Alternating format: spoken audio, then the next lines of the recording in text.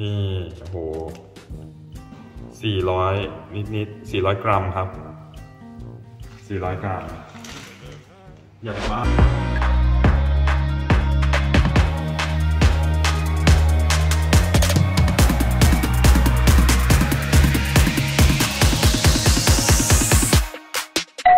วัสดีครับ ยินดีต้อนรับเข้าสู่รายการ Doctor Channel นะครับพบกับผมนายแพทย์วุฒิวัฒน์อนุพันธ์สว่างหรือว่าหมอเตยนะครับ วันนี้ไม่ค่อยมีเสียงเนาะเพราะว่าแพ้อากาศช่วงนี้ฝุ่น PM 2.5เนี่ยเยอะมากเลยทำให้ไม่ค่อยมีเสียงจะต้องตะเบงนิดนึงนะครับ ยังไงก็ต้องขออภัยด้วยในเรื่องของน้ำเสียงที่อาจจะดูแบบน่าสงสารนิดนึงนะวันนี้พี่หมออยู่ที่โรงพยาบาลอีกแล้วนะครับมาทำเคสดูดไขมันร่วมกับการทำฟูลทัมมี่ทักด้วยนะครับทัมมี่ทักเนี่ยจะเป็นเรื่องของการตัดหนังหน้าท้องร่วมกับการเย็บกล้ามเนื้อให้ดูกระชับตึงมากขึ้นนะครับซึ่งการทำฟูลทัมมี่ทักเนี่ยนะครับจะเหมาะสำหรับกลุ่มคนที่มีปัญหาหน้าท้องหย่อนคล้อยนะครับไม่ว่าจะเป็นคุณสุภาพสตรีที่ผ่านการตั้งครรภ์เนาะทำให้กล้ามเนื้อหน้าท้องเนี่ยมันเกิดการยืดตัวออกนะครับแล้วก็ผิวหนังหย่อนเนื่องจากมีมวลไขมันเยอะกลุ่มอื่นๆก็จะเป็นกลุ่มที่มีการลดน้ำหนักตัวมากๆ บางคนที่เคยอ้วนมากๆมาก่อนนะครับมีน้ำหนักตัวที่สูงมากเลยแล้วลดน้ำหนักจนแบบว่าน้ำหนักลดก็จริงหุ่น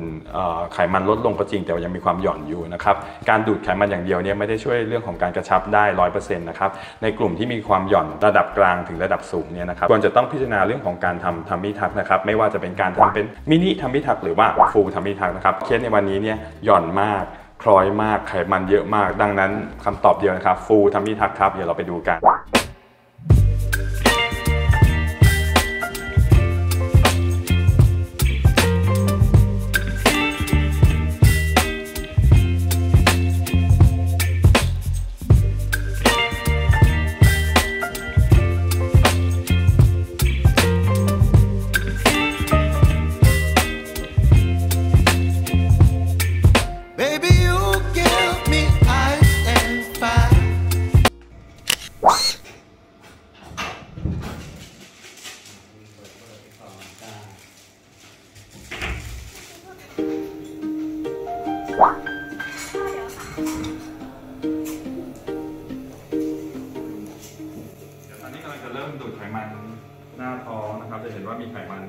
เยอะมากแค่นี้ BMI ก็เกินนะแล้วก็ผิวหนังเนี่ยหย่อนมากเลยหนอนก็ยังมีเนื้อที่ค่อนข้างเยอะเพราะฉะนั้นเนี่ยจะต้องตัดหนังไปด้วย นี่คือแนวแผลที่เราจะตัดนะครับ จะดูค่อนข้างยาวเพราะว่าเรียกว่าฟูทัมมี่ทักตัดหนังดึงลงมาข้างล่าง ก็จะมีความเรียบอะเดี๋ยวเริ่มดูดไขมันกันเลยครับตอนนี้กำลังสลายไขมันนะครับโดยการใช้เครื่องVASER ตัวนี้นะครับเป็นเครื่องดูดอัลตราซาวด์ ช่วยทำให้เซลล์ไขมันแตกตัวแล้วก็ดูดออก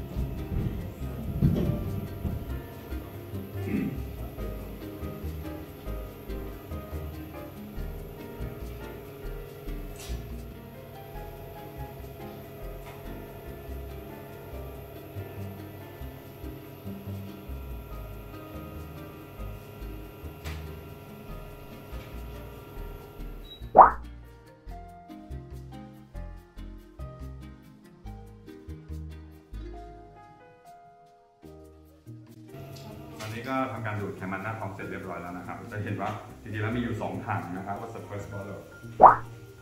Yeah this is the second bottle so altogether like 4.3 liter from the tummy and now we're going to do the tummy tuck we're gonna cut the skin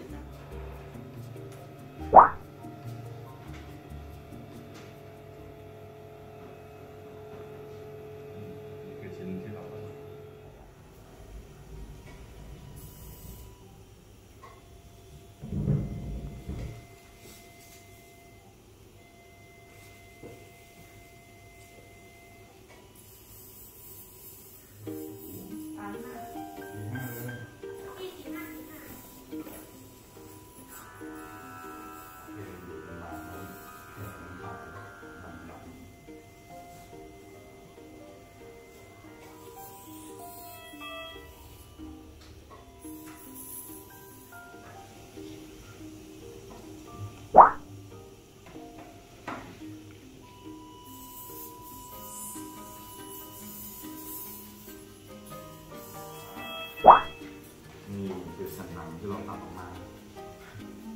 โอเคประมาณสามฝ่ามือ อืม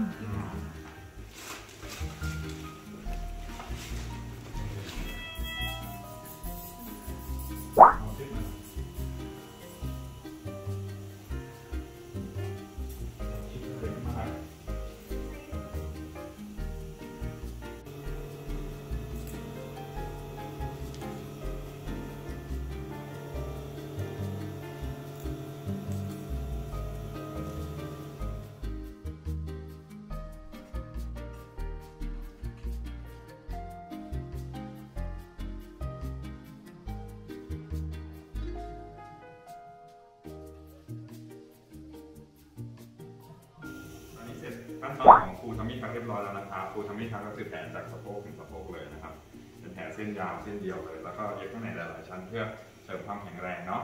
เดี๋ยวเราทำสะดือแล้วก็ยกสะดือที่ซ่อนอยู่ข้างใต้ขึ้นมาตรงนี้จะได้ตำแหน่งสะดือใหม่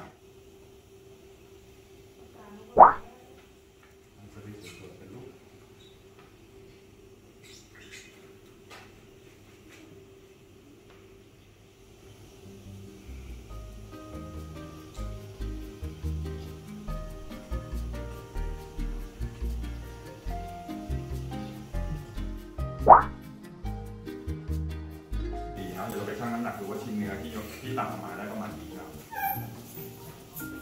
นี่โอ้โหสี่ร้อยนิดนิดสี่ร้อยกรัมครับสี่ร้อยกรัมใหญ่มากก็อาจจะเขียนออเดอร์ให้กับคนไข้เพราะว่าจะต้อง